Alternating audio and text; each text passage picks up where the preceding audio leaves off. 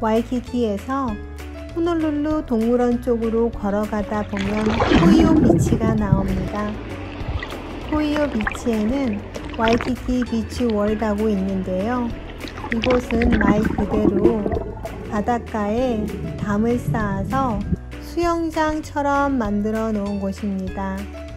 와이키키 비치 월을 걸을 때는 안 보이던 정말 많은 물고기들이 바닷속에는 이렇게 살고 있습니다. 이 물고기 떼를 보고 저도 정말 깜짝 놀라서 탄성을 질렀습니다.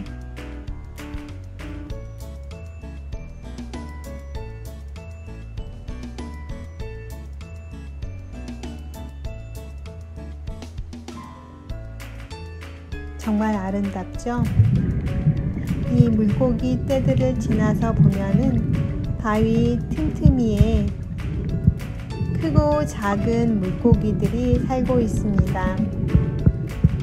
하지만 수영을 하다 보면은 돌담 너머로 거센 파도들이 쏟아져 들어올 때가 있어요. 그런 짜릿함을 느끼며 수영을 할 수도 있답니다. 와이키키에 오시면은 꼭 한번 수영을 해보시라고 권해드리고 싶어요.